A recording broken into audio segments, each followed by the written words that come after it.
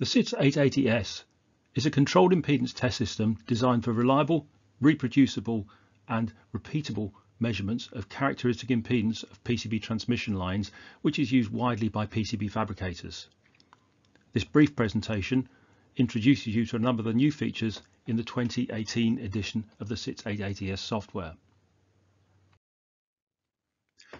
In the 2018 release, in addition to the standard testing of minimum, maximum and average impedance, Polar added the ability to autosave a snapshot of all test results and their waveforms when data logging the results from a batch of coupons or PCBs. Also the ability to set a maximum minus minimum test limit capability overlaid on top of an existing test, and the ability to program the CITS through an XML file input so that people wanting to automate their test program generation can do that with ease from their ERP systems, the ability to live update test limits without the need for reacquisition, and a number of other usability enhancements. The following slides show you some of these features in more detail. This slide shows you that in normal testing, uh, a deviation within the test limits will permit a pass, but some fabricators have their OEMs have noted that they want a bit more control over this and want to test a maximum impedance minus minimum within the test limits on critical traces.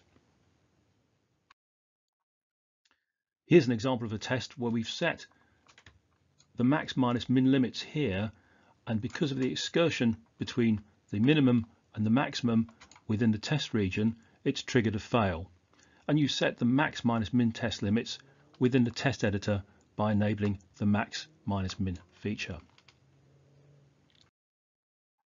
You can also live update the test limits. In this particular example, you can see I'm bringing the test limits back because they were set too close to the end of the PCB trace. So by snapping the limits to the cursor, we can retest with more realistic test limits.